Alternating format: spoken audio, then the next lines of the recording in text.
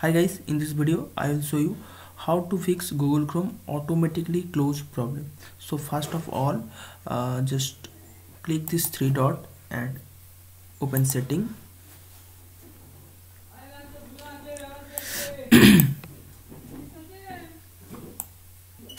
Remove all extension.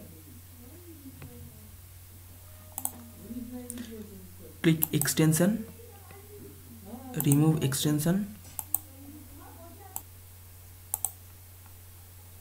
now click on startup select open new tab page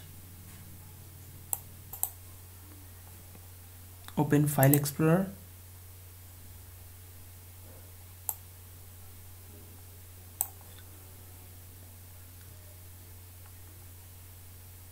click this PC click operating system click program files into 86 now search for google chrome.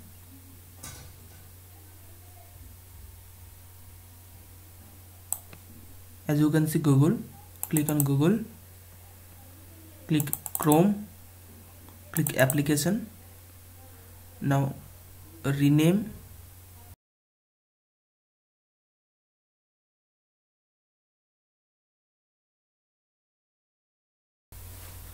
into.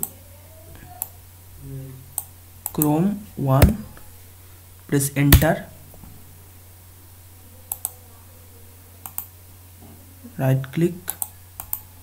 Select and right click. Click show mode option.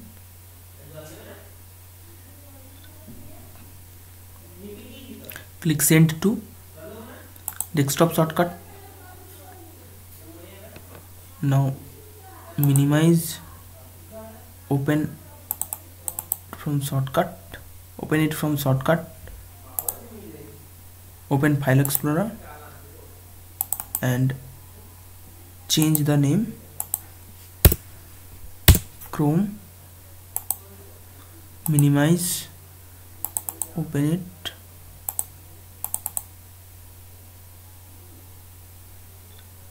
from shortcut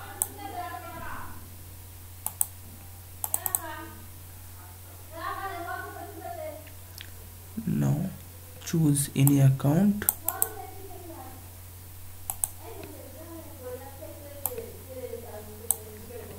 Click this three dot. Click setting. Click click privacy and security. Click clear browsing history. Select all time. Basic click all time click clear data got it? Your problem is fixed